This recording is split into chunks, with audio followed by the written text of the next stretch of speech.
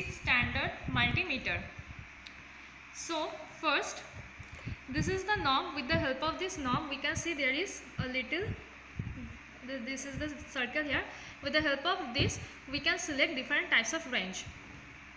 So this is in the off position. Now we can choose this it like this. This is now on and we can select various range. So first we, are, we will start from here this is the this is to measure dc voltage.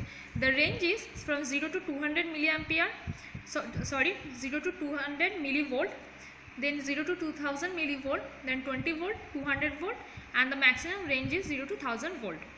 So this is the dc voltage. As you can see it is denoted by a straight line.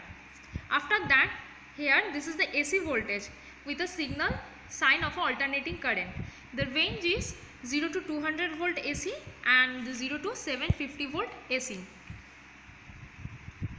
Now this is this here is the DC current.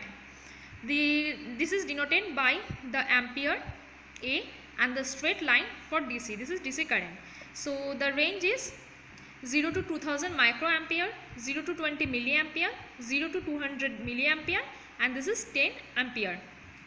Now here with the help of this we can measure the temperature. This is in Celsius and this is in Fahrenheit. So with the help of this knob like this if we keep this this position it will be in Fahrenheit mode. We can see the room temperature and this is Celsius. Now this is the diode mode and the continuity wire continuity mode. So using this we can see we can uh, measure the diode PN junction voltage and with the help of this we can find out uh, continuity of a wire or a connection on a PCB. Now here this is the resistor with the help of this you can select resistor this is 200 ohm this is 2000 this is 20k this is 200k and this is 20 mega ohm. Now with this multimeter comes this testing probe. So here this portion this is written in com here this terminal denoted by COM common. This is ground terminal. So for this use this black testing probe just to just for better understanding. And this is the positive terminal. So connect this with the red testing probe. And for an example we are going to measure a resistor so like this, hold the resistor.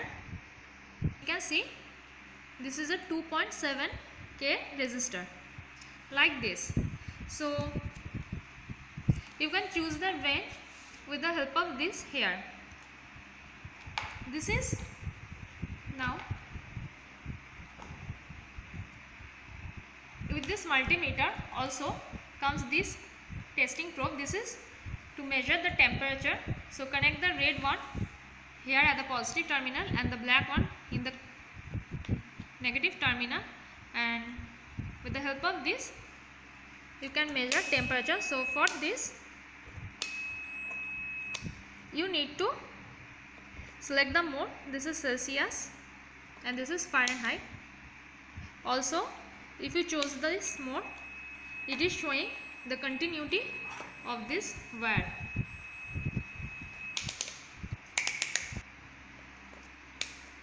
This is to light this display if it is if you are unable to read so with the help of this button, button you can light the display and this is to hold the result like this